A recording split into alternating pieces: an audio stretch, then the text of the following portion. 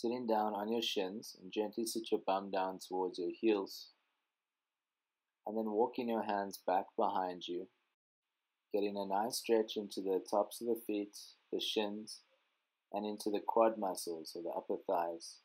If this is too much for you, then stay up with your hands at your sides, therefore putting a little bit less strain onto the muscles and joints.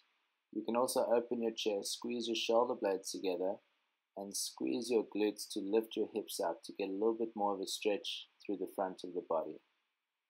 Take long, slow, deep breaths. After about 10 breaths, walking your hands forward again, slowly coming up.